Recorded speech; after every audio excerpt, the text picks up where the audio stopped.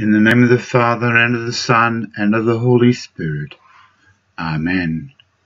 Hello, I'm Father Paul, and this is the Good News. The scripture reading today is taken from the Gospel according to St. Mark, chapter 4, verses 1 through to 9. And again he began to teach by the sea. And a great multitude gathered to him so that he got into a boat and sat in it on the sea. And the whole multitude was on the land facing the sea. Then he taught them many things by parables, and said to them in his teaching, Listen, behold, a sower went out to sow. And it happened, as he sowed, that some seed fell on, by the wayside and the birds of the air came and devoured it. Some fell on stony ground, where it did not have much earth, and immediately sprang up, because it had no depth of earth. But when the sun was up, it was scorched, and because it had no root, it withered away. And some fell among thorns, and the thorns grew up and choked it, and it yielded no crop. But other seed fell on good ground, and yielded a crop that sprang up, increased, and produced some thirtyfold, some sixty, and some a hundred. And he said to them, He who has ears to hear, let him hear.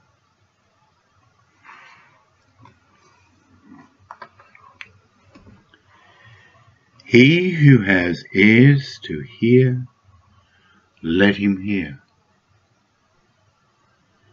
Jesus taught a lot in parables,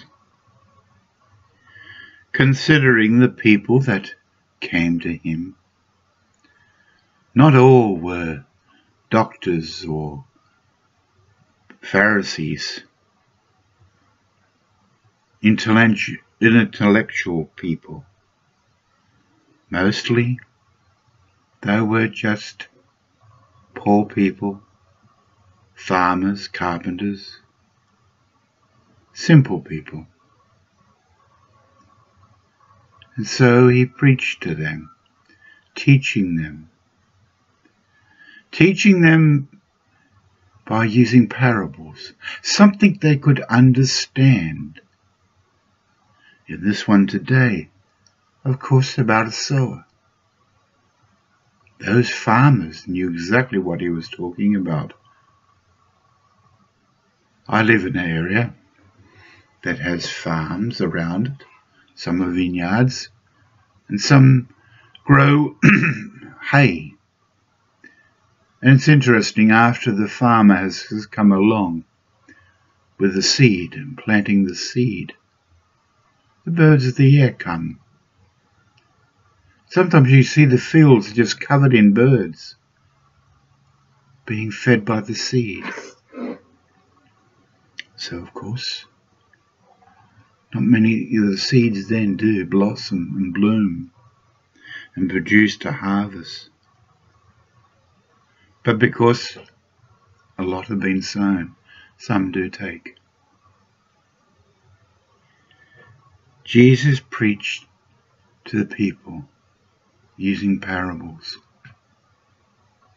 Simple words.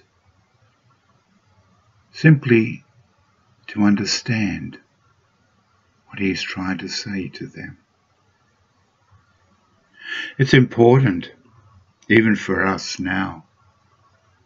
Maybe not quite as simple as the people back then find a lot of people these days try to make things out of what Jesus said.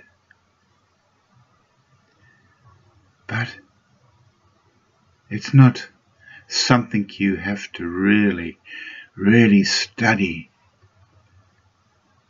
and try and work out what he was, he's meaning. It is simple. He made it for us to understand. He who has ears to hear, let him hear. We don't have to sit down and study and study and study and try and work. What does he mean by this and what does he mean by that? There's simple meaning there. The Gospels were written in a way. Jesus taught in a way for all of us to understand.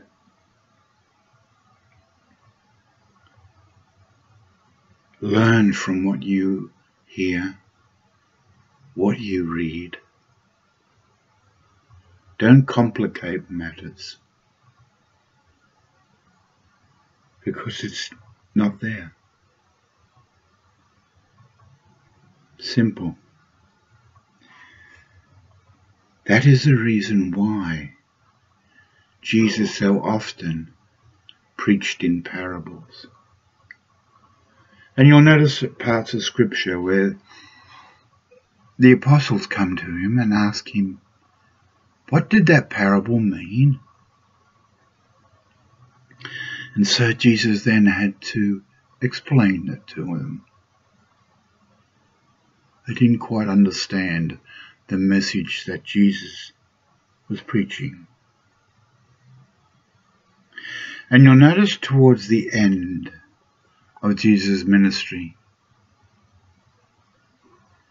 Jesus stopped preaching in parables and the apostles could understand what he was saying. So it is important for us when we read or when we listen to make sure we listen properly. Listen not only with our ears but with our heart. The words of Christ.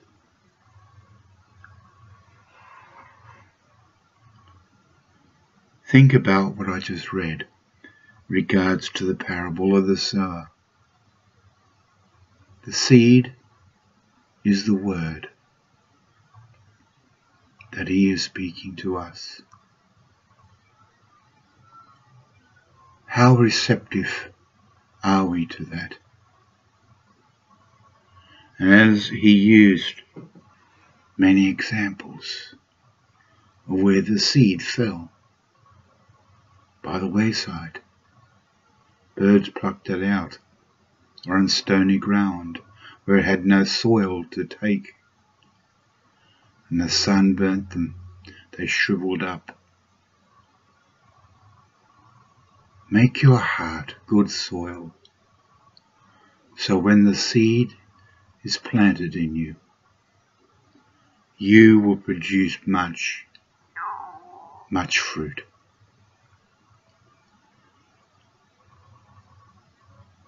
Thirty-fold, sixty-fold, or even a hundred. Prepare your soil. This is what farmers do. They prepare the ground for seeding we should do likewise. Prepare the ground to allow the seed, the Word of God, to be planted in our hearts. May the blessing of Almighty God, the Father, Son, and of the Holy Spirit be upon you and remain with you always. Amen.